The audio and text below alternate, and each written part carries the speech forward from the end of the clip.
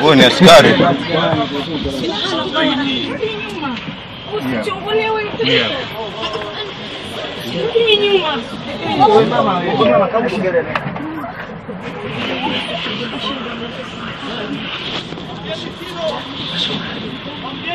Kama yeye alitani kwamba kuwa Waislamu furaha kwake.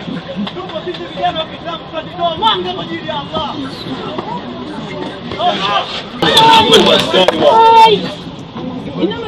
Umevaa kiraia. Huyo ni askari.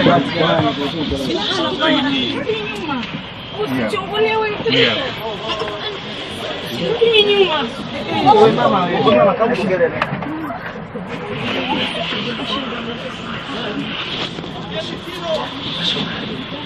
hilo kama yeye alidhani kwamba kuwa Waislamu furaha kwake. Tuko sisi vijana wa Kiislamu tunajitoa mwanga kwa ajili ya Allah. Muislamu safi na mtu wa maadili ya Kiislamu ya na namfahamu pia kama mfanyabiashara wa madini, ana mgodi Chunya ya namfahamu kama mtoto mwenye maadili mazuri na tunakaa naye mtaani na hatujapata vikwazo vyovyote kusikia wala kuona anamfanyia mtu kitu kibaya.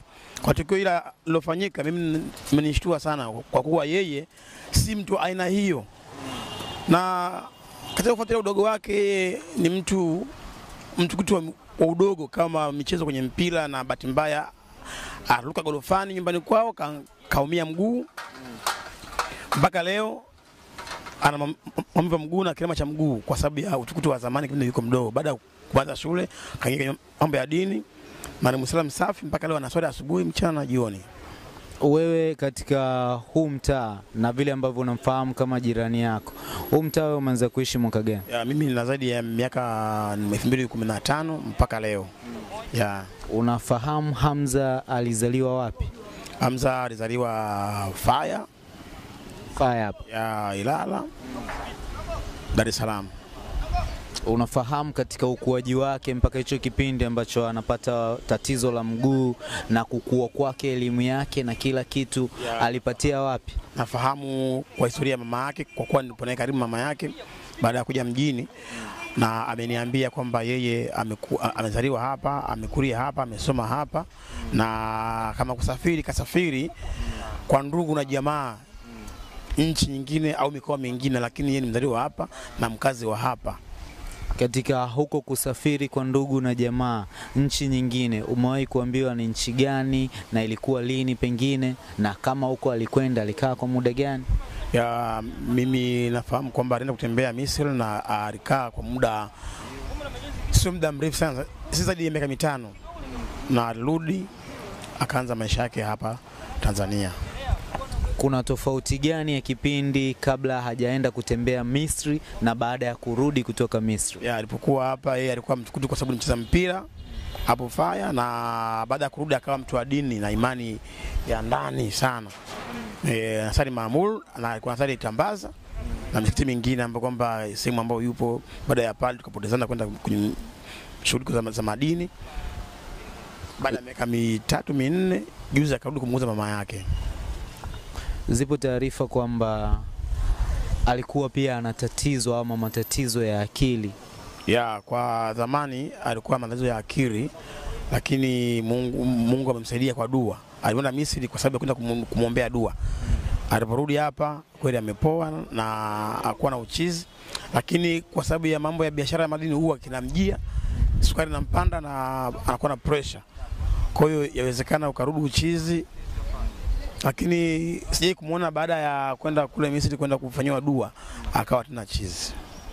Biashara ya madini ambayo alikuwa anaifanya, hiyo biashara ilikuwaje? Ilikuwa ni ya kwake mwenyewe au ilikuwa inahusika uh, na familia? biashara Ni biashara ya familia, mgodi ameacha baba yao wa, baada ya kukua akaamua kufufua ule mgodi, wakaanza kuwajibika wakiwa watu wanne, mama yao kama kiongozi wa historia, lakini kikweli kikweli ya undani ya mgodi kwao sijajua na sijafika, lakini akirudi kama amepata basi anasema jamani, kunyweni kahawa, na akikosa tumeona anasikitika kwa tupana kijiweni, lakini kahawa baadhi ya wazee wa mtaani wanakunywa kahawa katika maadili mazuri na anaongea swali nzuri.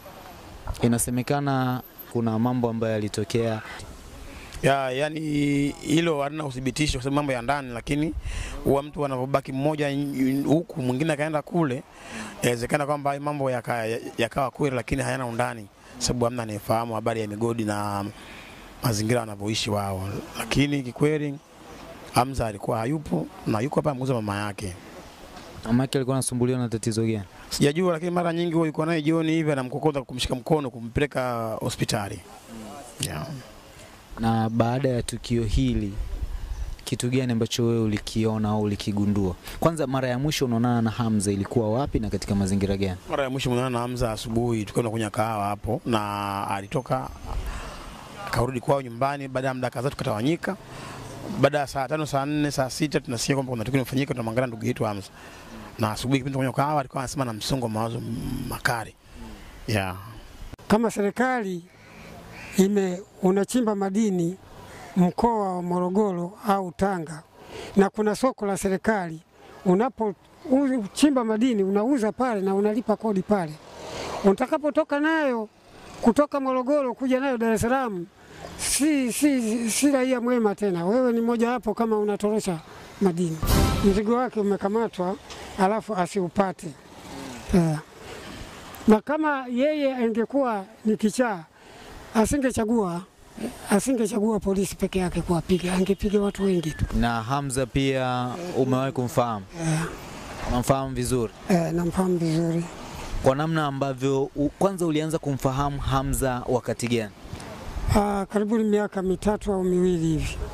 Eh, alikuwa anajumuika na vijana wenzie hapa na mimi nikiwepo. Eh, Kwa kipindi chote ambacho umemfahamu Hamza, yeye kwa kipindi hicho alikuwa ni, ni kijana wa aina gani? E, alikuwa kijana wa makamu kama sikosei, kati ya miaka thelathini na ni mtu ambaye mrefu mnene, mwenye wajihi kidogo wa kiutu uzima. Kwa namna ambavyo ulimfahamu pia, achilia mbali mwonekano wake, Hamza amekuwa mtu ambaye akijishughulisha na kitu gani? Ah, mimi nilikuwa sijui kama alikuwa anajishughulisha na kitu gani, lakini hayo yote nimekuja kuyapata baada ili tukio kutoke, kutokea. Yeye alikuwa anajishughulisha na ma, uchimbaji wa madini huko Mbeya. Eh, hilo ambalo ndio nalijua. Na hiki kilichotokea imekuwaje? E, katika kuangalia jinsi hili tukio lilivyotokea, kwa kweli kila mmoja ana muono wa tofauti, lakini muono wangu jinsi ambayo mimi ninavyojua au ninavyohisi, eh, huu muono una uhusiano kidogo na hawa ambayo waliouawa wote kati ya bwana Hamza pamoja na polisi. Kulikuwa na kitu fulani ambao wao walikuwa wanashirikiana nacho.